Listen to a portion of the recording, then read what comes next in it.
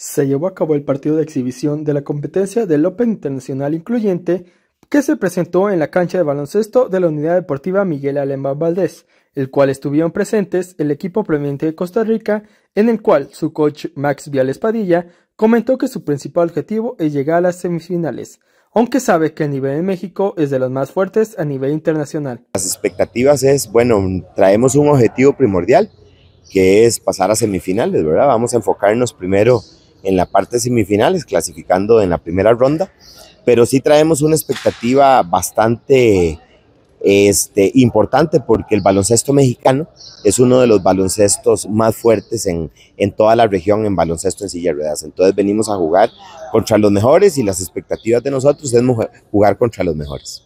Por su parte, Kene González, jugador de Costa Rica, comentó que es su segunda participación en este equipo y se encuentra concentrado y agradecido con todo el apoyo. Comentó que la adaptación en esto ha sido fundamental por el buen desempeño de los jugadores.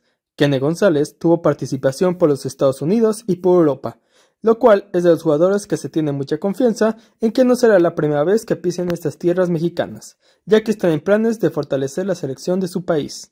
Mi carrera profesional empezó ya hace bastante tiempo eh, en España, pasado por varios equipos en Europa, eh, en Italia, en Francia, en Estados Unidos también. Y pues a nivel, a nivel de club sí he obtenido varios eh, reconocimientos y, varios logros, pero a nivel de selección no nos quedamos atrás. Estamos tratando de, de fortalecer la selección nacional y que vayamos incrementando para volver de nuevo a México en algún momento, ¿verdad? Ya como selección nacional y poder participar y para algún torneo, ya sea internacional de la IWF, X, de, sobre el baloncesto de la zona, ¿verdad? el equipo de Costa Rica cuenta con Yoshi Gutiérrez, única mujer en el equipo. Para ella ha sido una buena oportunidad ya que demuestra el poder femenino es alto.